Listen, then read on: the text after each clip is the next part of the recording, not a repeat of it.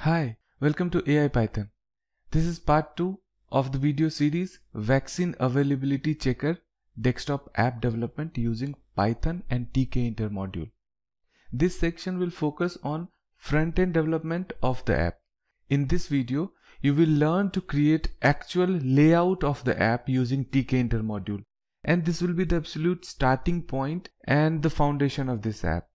You will learn to define the initial GUI dimension that is height and width of the app as well as provide the flexibility to resize the app whenever it is required right?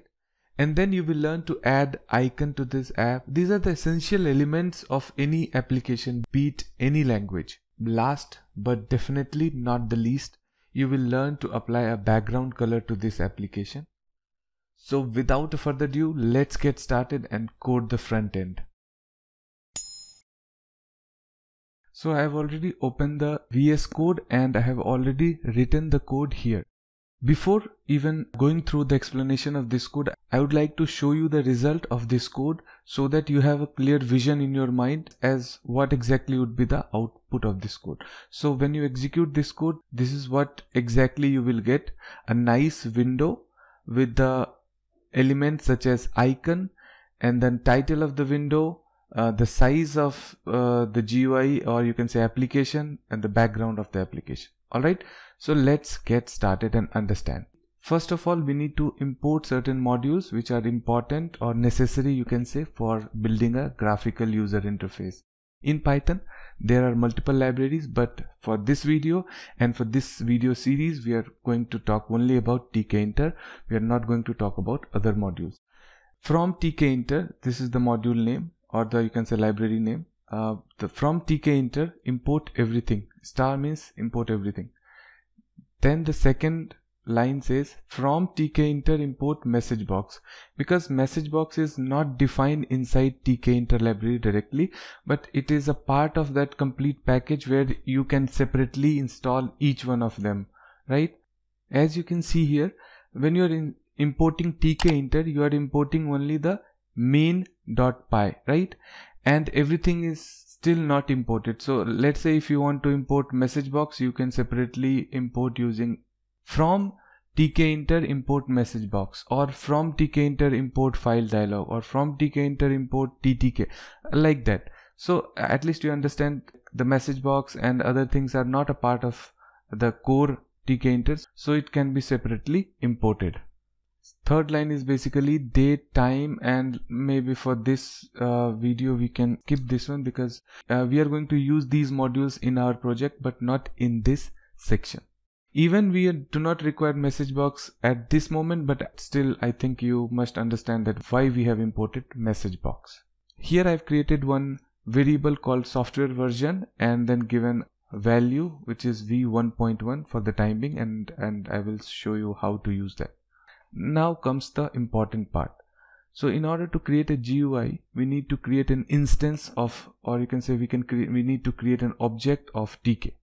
And we can use TK with the round bracket to cre create one instance which is app equal to TK and you can name it anything.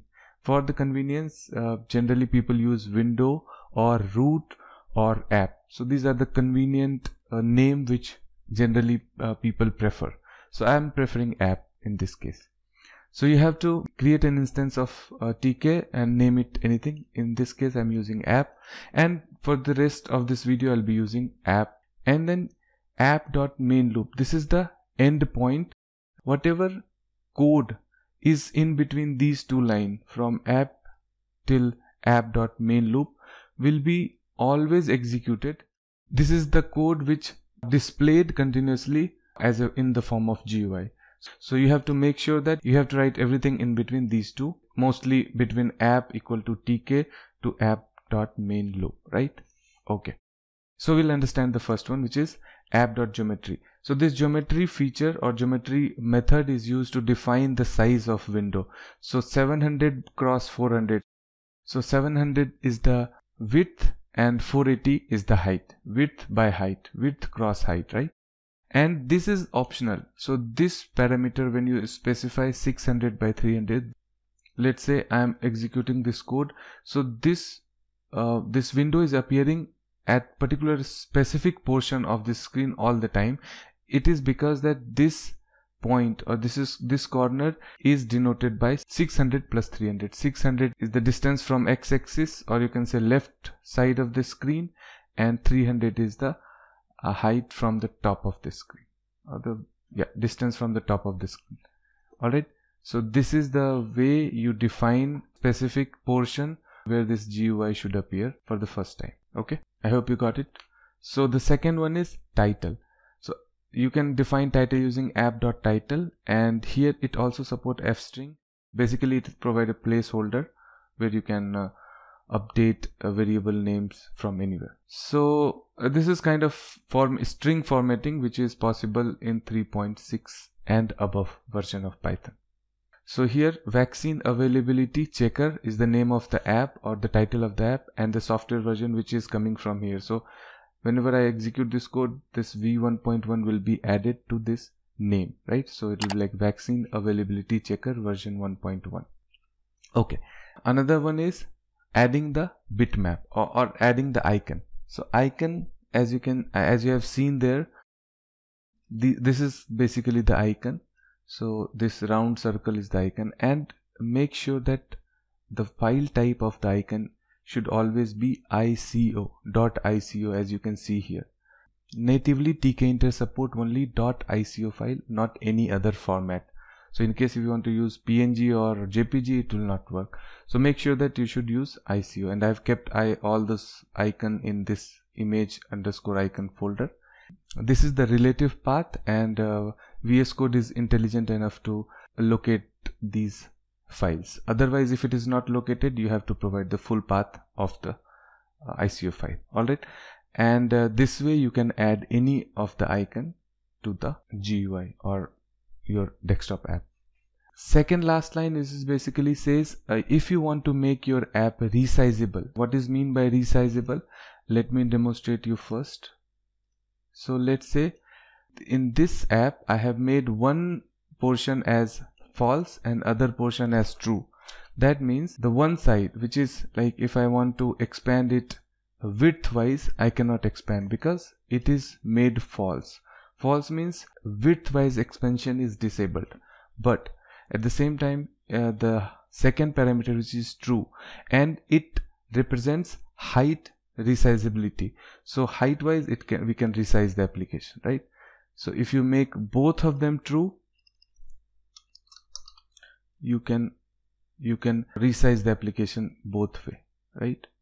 Sometime you need to resize the application but for this application we don't want to resize it. That's why I make it false both side but I can make it false both of them because I don't need uh, the user to resize this application right? So now you can see I cannot resize anything. So the control is lost. I cannot resize. Okay? So this way you can lock your application or you can say not locking in terms of feature but locking in terms of size or dimension of the application. All right the last one is the background color. So this background color you can put any background color and it, it support hex as well as the direct name.